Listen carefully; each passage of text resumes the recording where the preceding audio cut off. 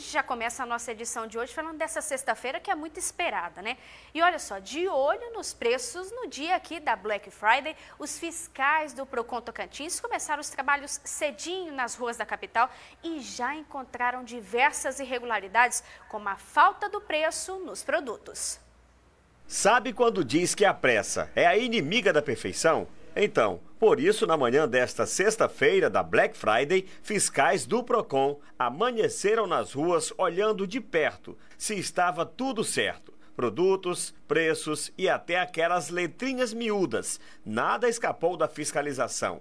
Mais de 180 lojas foram vistoriadas e quase 2 mil produtos de natureza variada tiveram os preços conferidos.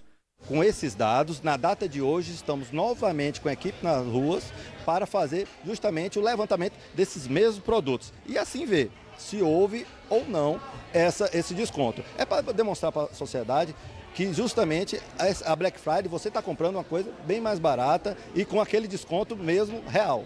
Nas primeiras horas de fiscalização, o PROCON já foi logo identificando algumas irregularidades, entre elas a ausência de preço, tanto em produtos quanto nas prateleiras. E, eventualmente, se for constatado esse abuso, será autuado, dado prazo, lógico, para a, a, apresentação de defesa e, se mesmo assim não for acatada aquela defesa, será aplicada a multa conforme a legislação.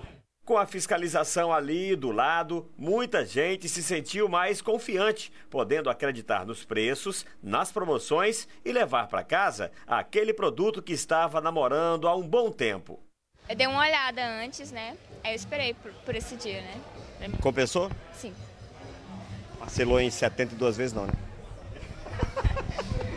Sacola cheia, compra finalizada. Foi assim que muita gente saiu das lojas durante a promoção.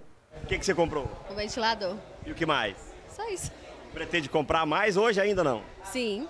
Tô gostando muito, muito legal, o preço tá muito bom. Você vai comprar nessa Black Friday? Vou, vou comprar, sim, com certeza. Fica aquele recadinho também, né, pessoal? Não vamos sair comprando aquilo que a gente não precisa. Vamos ficar de olho para ver se realmente o preço que está lá não era o preço de antes e está só colocando ali dizendo que é promoção. Acontece muito isso, mas o Procon Tocantins está em alerta e a gente vai continuar falando sobre esse assunto aqui.